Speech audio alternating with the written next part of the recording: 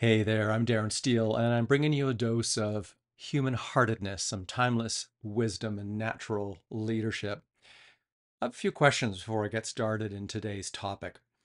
If you're a change leader, a creative, a disruptor, or somebody who wants to make a difference in the world, and you're just like me, then you probably forget about one of the most important things that you need to do, that you should be doing, that serves you really well in your own world.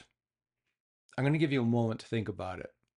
So, what do you think is the most important thing that affects your ability to make a difference, to show up, to do things easily? It- whether making a difference is at home with your partner, in your workplace, or for a larger social justice issue that you might be involved in. What is the thing that if you neglect it, you're not going to have very much influence. You're going to have very little impact. You're going to have hardly any power because you're not going to feel at your best self. And when I say power, I don't mean power over, I just mean you're not going to feel empowered. Okay, do you know what I'm talking about? You've you've probably already guessed. In fact, I've already said the word. I think I've said the word feel. How do you feel?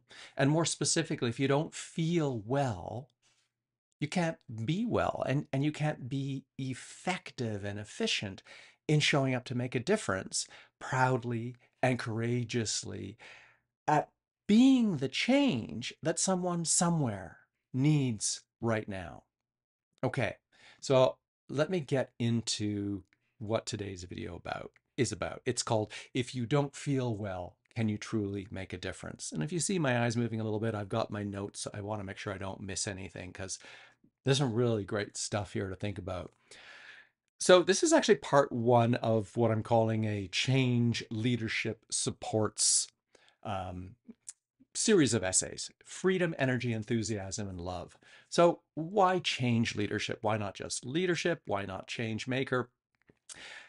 if you're anyone who is interested in making a difference, whether you're leading an organization, whether you're supporting other people in making a difference, whether it's your job that you love to do, but your work involves somehow making a meaningful difference, if you're trying to make a difference in your community, you're a change leader. I'll come back to that broader definition at some point, but just soak that in. Take own that, right? So what happens if you don't feel well? Think about it because it's it's very specific to each of us, right? And before I get into some of my points, like I wasn't feeling very well this morning, and you know I wanted to do this video, but the, I needed to take care of myself. I needed to go downstairs, do 30 minutes of cardio. I sweat. I like smelt myself. Don't get grossed out, but eh, I could smell that I was perspiring in a way that told me I hadn't been feeling well. I hadn't been really taking care of myself in the best way for a couple of days. That's just being attuned with your body. If if you know how you feel, if you know what your energy is like, if you even know what you smell like, as ridiculous as that that may sound, these are all indicators of how you are feeling. And are you feeling well or are you not? So, what happens if you don't feel well? Well, it's hard to function as your most authentic, influential, and powerful self. And if you're struggling in any way, let's say you've got something important that you need to do, how are you able to fully show up in that meaningful work to make a difference and making a difference in the broadest sense of word of the word, meaning just getting things done? Let alone actually making a meaningful difference if you're a change maker or a change leader. So, your feelings are crucial to your influence and your impact. And when you're not feeling your best, your ability to tackle the problems or the challenges that you care about is greatly diminished. My own example, you know, when I'm feeling in the dumps for whatever reasons. And it's usually more than one thing. It's a few things that layer up, up on top of each other, almost like the snowball effect going the hell, going down the hill, going to hell, going down the hill, and collecting um, these these layers of things that bring us down, that bring us more into the undesirable feelings and emotions. If we catch it sooner than later, it's easier to recover. If we get to that point where the snowball hits a rock and we just crash, it takes a little bit more time to come back to feeling great. So, feel, capital feel, F E E L. That's an acronym that I like to use for freedom, energy, enthusiasm, and love. So, let me go through these four vital elements of your well being and help you place them in your own life to see how they affect you and if you prioritize them together as a whole, how they'll improve your experience of life. Okay, so freedom, freedom from restrictions and stress. Energy, that's the natural abundance of like what you're able to do. And that's both your physical energy and your mental energy. Like that empowers your brain to think through, to solve problems, to think clearly. Physical energy to lift heavy objects or just get through your day without feeling tired and slouchy or whatever the case may be. Enthusiasm. Well, you could all say this is a part of the energy, but this is like the spark behind the energy and the peace of mind and your enjoyment of life, the enthusiasm that both makes you happy to be you and also attracts other people to be around you. And finally, love in its various forms. Now, I'm going to explain all of these in just a moment. So, again, I know I'm flogging a dead horse, as the horrible expression goes. If you're inspired to make a difference in the world, and if you're not feeling well, that impedes your ability to be effective. It just impedes your ability to have a wonderful, joyful life where you feel great, you have satisfaction and peace of mind, and you feel accomplished because you've been able to do what it is you set out to do, right? So, when you're at your best and you feel well, this is my philosophy here you can stand up courageously and proudly for what you know is right and support a common humanity of dignity and equity. That's what I mean by being a change leader. So, how do you want to feel when you're making a difference? How do you want to feel about freedom, energy, enthusiasm, and love? And how can you work all those together? So, let's work through this one by one. Freedom. You know that wonderful song by George Michaels because you're free to do what you want to do. I've got to go back. I was thinking of Freedom by George Michael, and that's been on my brain for a little while. This is actually Ultra Nate, because you're free. And I can't believe I actually just sung, and I'm going to publish this. Okay, because you're free to do what you want to do.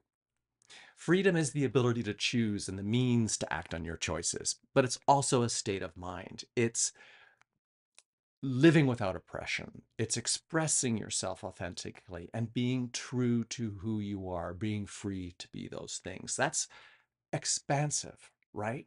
And of course, imagine now how freedom influences the next three aspects of feel energy. If you feel free, you've got the energy. I've got the power. Want to remember that from Snap in the 90s? Understanding how to manage and optimize your energy during the day, during the week, and even during the month is crucial. You might be like, day, week, and month? I'm just worried about having enough energy for this morning. Well, later on, I'm going to talk about how you can manage your mind as opposed to your time and how this makes you very effective and to be able to enjoy more of your life and more free time. Anyway, coming back to energy, this can be the difference between burning out early on in the day, maybe even by 10 o'clock in the morning, or being highly productive throughout your day. And when I mean highly productive, I don't mean pushing yourself and pushing the pedal to the metal and forcing yourself. I just mean being highly efficient. It's easy to be productive because you've got the energy, because you're maybe in flow state, because you're not thinking about it. So when you recognize and know what depletes your energy and what nurtures your energy, that will allow you to design your day around the tasks and the projects that align with your energy levels. And that prevents burnout. That enhances efficiency. That's what leads to what I like to call efficient productivity. Efficient because you're not pushing yourself. It's almost easy. That doesn't mean that the work you're doing won't be challenging, intellectually challenging. Maybe sometimes you might be furrowing your brow because you're thinking through strategically how to solve a problem. I'm not diminishing any of that stuff. I just mean it's easier to get through it because you're not feeling like you need to run out and get sugar or coffee or some sort of a stimulant to keep yourself going. Okay, we've just gone through freedom and energy. We got enthusiasm and love. So, enthusiasm, I call this the energy multiplier. Enthusiasm is about living your life fully, completely, doing what's meaningful and fulfilling, and being your authentic self. Now, I know not everyone can do that all of the time. Maybe you're doing some work right now that is facilitating, that is helping you pay the bills while you're working on something else. Maybe you're fortunate enough to be starting something or fully into some kind of work or creativity that is everything. That is your dream work, and that's entirely meaningful to you, and you get to enjoy that all the time. But even in that, there's going to be administration, things you have to do that you don't like doing. But all the other elements are contributing and feeding into that enthusiasm, which makes it easy to multiply your energy because you feel good about it. So when you operate from this place of enthusiasm, it's like using energy efficient tools. You you can achieve more with less effort. I like to think of LED light bulbs that the switch from incandescent to LED. They're far more efficient. They burn much longer and they use very little energy compared to the old-fashioned light bulbs, right? So enthusiasm supports efficient productivity and efficient use of your energy Therefore, you can accomplish more without burning out or feeling frustrated or angry. Now, finally, love. What's love got to do with it? I just did it again. Jeez, I sang. Okay. Tina Turner did it much better than I did, but when you feel love, you tap into your capacity for acceptance, connection, and care both for yourself and for others. Now, acceptance, connection, and care, they make up, they're kind of like the the three pillars of what love is. Not talking just about like loving your dog or loving your partner or loving your kids. Yes, that can be part of it, but love is this singular word that we have that often is used in too much of a hallmark way. But when you can open up your heart in a sense for accepting, understanding, connecting, and caring for others, that means you have that for yourself. That means you are more open to be intellectually flexible. Um, you're more willing to be impartial in analyzing a situation without being critically judgmental.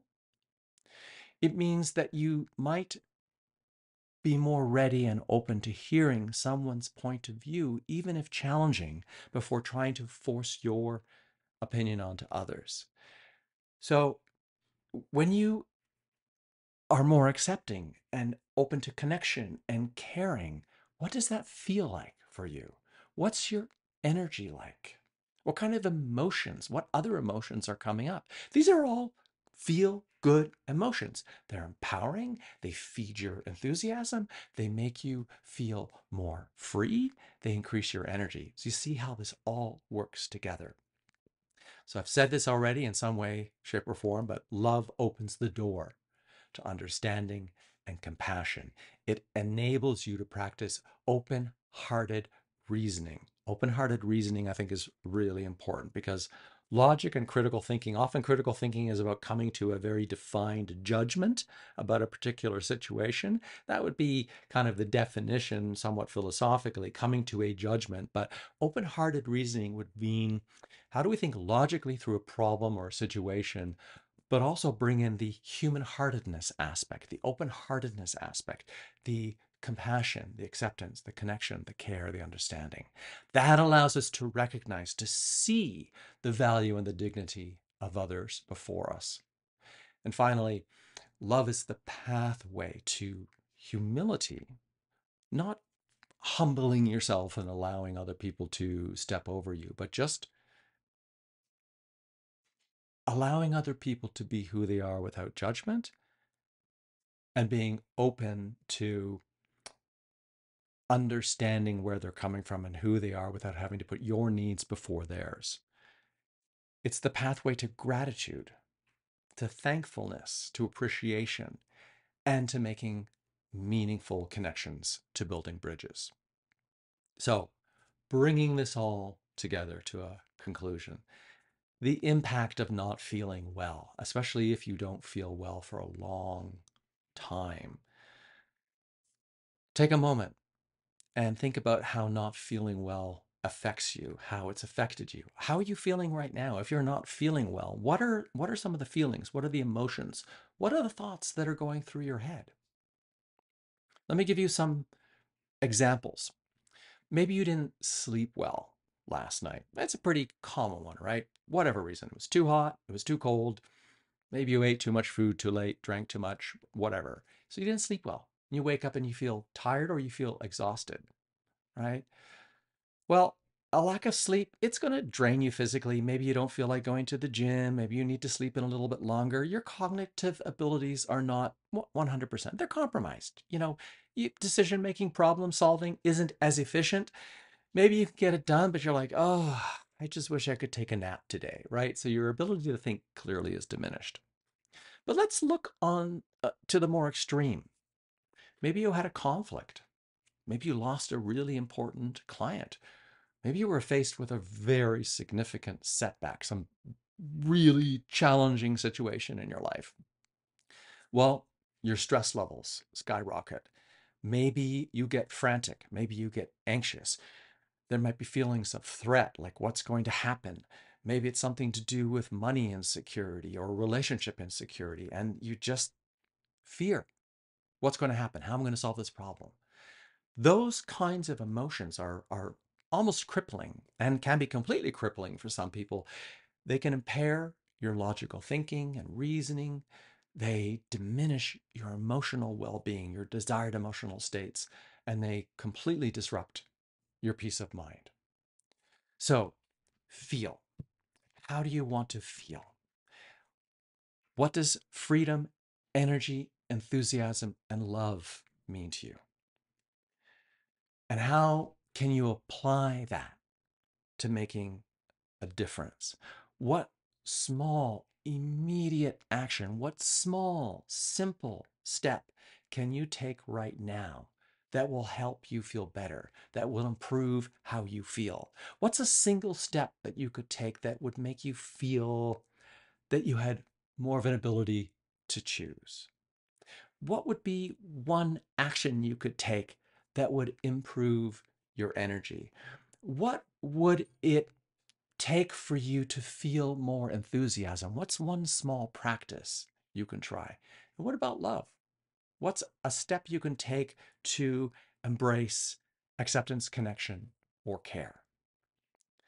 So, when you can identify the barriers that are making it hard for you to feel well, that's the first step towards reclaiming your ability to make a meaningful impact. That's the first step towards taking some action that will improve how you feel so you can show up more easily and make a difference in the world as a change leader, change maker, a creative, however you label yourself. I would love to know. Let me know in the comments what is the small, most immediate action you can take to start feeling better, to feel well right now. Thanks for watching. Thanks for listening. I'm Darren Stehle.